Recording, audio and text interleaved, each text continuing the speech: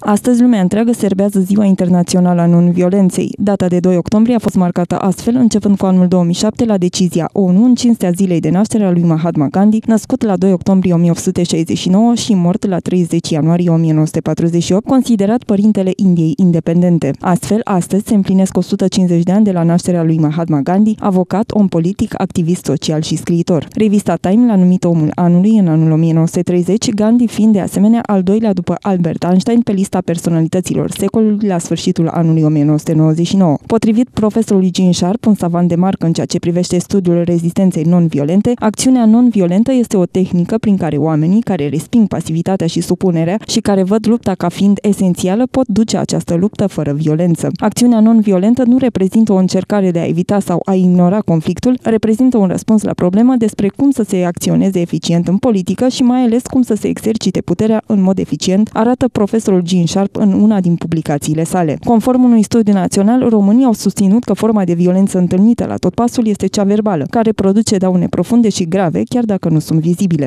Această zi este, de fapt, menită să atragă atenția asupra violențelor de tot felul care se întâmplă în societate și în lume, pentru că știm foarte bine, societățile dezvoltă o mare putere de constrângere și sunt de regulă violente.